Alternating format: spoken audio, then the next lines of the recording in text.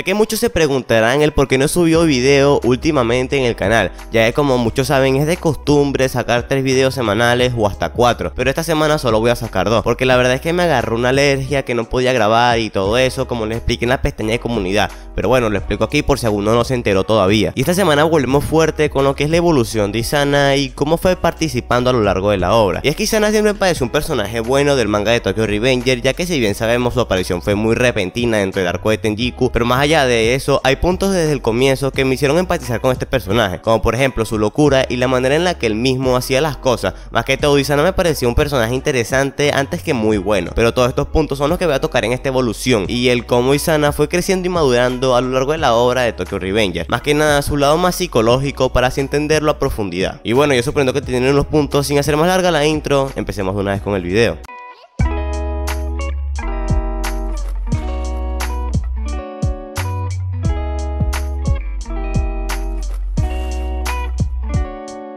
Para entender Isana debemos remontarnos desde sus inicios como personaje. Isana desde muy pequeño pensó que era el medio hermano menor de Shinichiro, a quien admiraba a menudo y le escribía demasiadas cartas, y el hermano mayor de sangre de Enma, a quien dejó cuando ella tenía tan solo 3 años de edad. Isana siente disgusto y celos hacia su medio hermano menor Manjido Sano, porque Shinichiro le dio a Mikey la pandilla en lugar de él. Shinichiro era la primera familia que sentía desde que era un niño pequeño, y a menudo hablaba siempre de Mikey, lo que le desagradaba demasiado a Isana. Es por eso que poco a poco fue sintiendo este desapego hacia su hermano Mikey y que también sentía admiración hacia su hermano mayor Shinichiro. Esto explica el por qué tras ser agredido por unos pandilleros encontraría su verdadero ser, ya que masacraría hasta la muerte a cada uno de los pandilleros que lo estaban molestando. Y esas acciones son las que lo llevarían al reformatorio, un lugar que en vez de reformar jóvenes, en este caso Isana, lo volvió cada vez más violento, y lugar donde conoce a un niño llamado Kakucho. Según él mismo aclara, Isana era una persona que le gustaba mandar por encima de los demás, pero al acercarse al mismo Kakucho le dice que la cicatriz que tiene en su cara se ve genial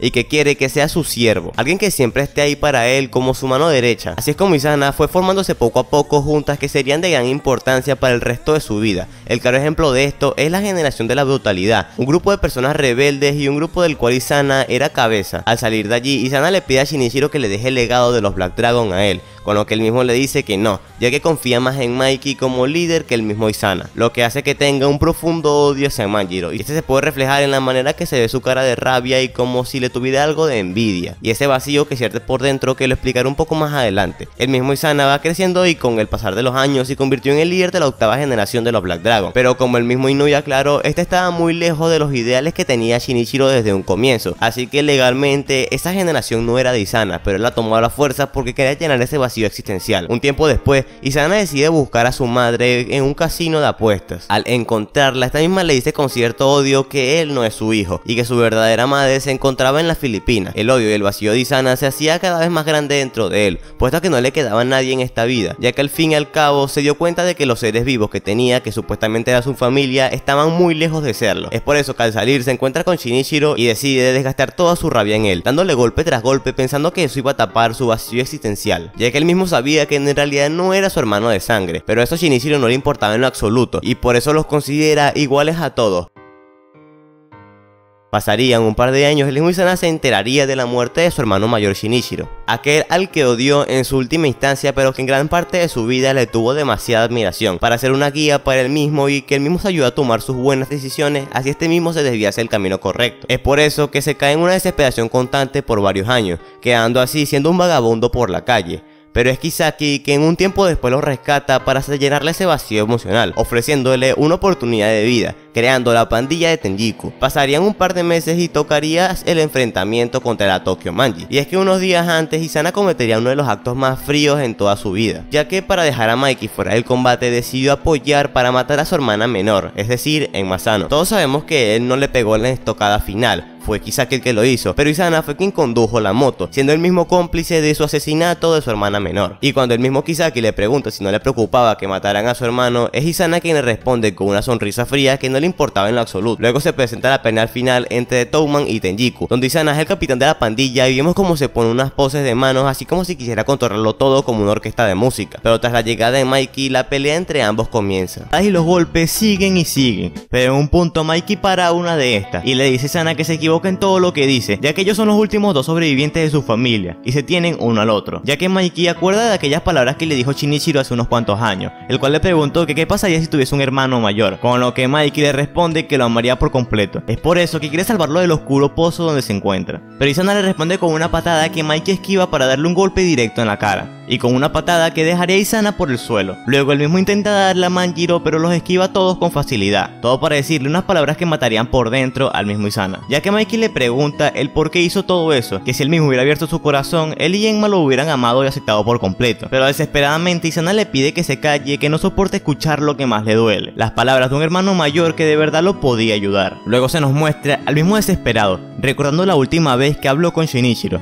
todo mientras intenta golpear desesperadamente a Mikey, pero este sigue esquivando y acertándole cada uno de sus golpes. Isana desesperado ve la sombra de Shinichiro y Enma detrás de Manjiro y le pregunta el por qué están de su lado. Tras la desesperación, el mismo agarra una pistola y se la apunta fijamente a su hermano menor, diciéndole que si pierde, allí igualmente lo perderá absolutamente todo. Entre lágrimas y llantos, recuerda las últimas palabras que le dijo su madre, que a pesar de todos los inconvenientes, sea fuerte. Al apuntar a su hermano con el arma de fuego, el mismo le dice que dispare sin miedo para acabar con esto de una vez por todas. Pero es Kakucho quien le quitará el arma de las manos para así se calmase.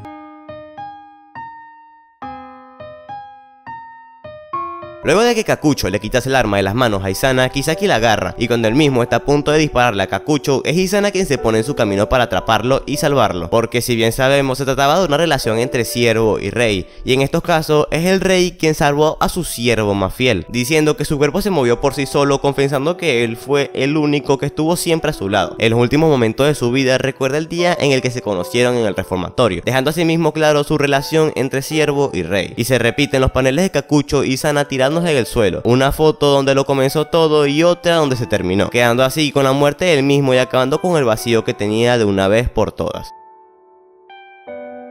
En conclusión, podemos ver cómo Isana es un personaje que va madurando poco a poco a lo largo de la obra, porque si bien sabemos su aparición no es tan repentina y se puede dar a notar en lo largo de este video, como por ejemplo la evolución de Mikey es muy larga ya que el personaje aparece durante toda la obra en general, pero Isana solo apareció relevante en un arco y este mismo fue en el de Tenjiku. Sumando a su pasado también se puede hacer bastante relevante, pero lo que pueda sumar de este personaje es que su análisis se viene reflejado en el vacío existencial que este tenía y la necesidad de ser querido y amado por una persona. Podemos ver cómo el mismo al no tener un afecto real desde su punto de vista puede llegar a buscarlo de diferentes maneras, forzando así varias relaciones como por ejemplo la de Kakucho y él para sentirse superior a él, para ver si así es halagado o amado por una u otra persona. Podemos ver que la intención de buscar a su madre es más que repentina, él quiere ver si su madre se fue porque en realidad no necesitaba o si en realidad lo amaba, pero al ver que su madre no le prestaba ni un poco de atención y no tenía ni siquiera un solo afecto de cariño hacia él, lo único que sintió fue vacío y rabia, cayendo a golpes a sí mismo a la persona que más cercana tenía y este mismo era Shinichiro, descargando toda su rabia en él. Es por eso que Isana es la clara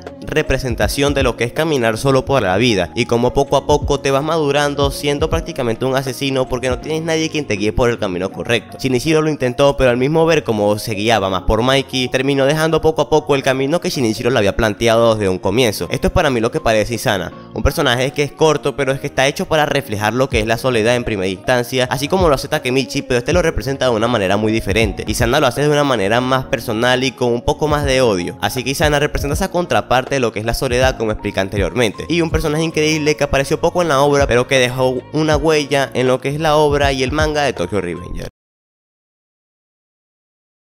Hasta aquí ha llegado el video de hoy. Recuerden que pueden suscribirse al canal y dejarme su like si les gustó el contenido, que eso me ayuda demasiado para seguir subiendo videos de esta manera. También recuerden que pueden seguirme en mis redes sociales, que son las que dejaré aquí abajo por si quieren saber más sobre mí y sobre las cosas que publico diariamente. También recuerden que pueden dejar sus comentarios si difieren con mi opinión, pero que lo hagan de forma respetuosa para que así sea una linda comunidad y no seamos todos tóxicos, todo sea lo más ordenado posible. Y bueno, sin explicar más nada y sin hacer más larga la outro, desde aquí nos vemos en la próxima y hasta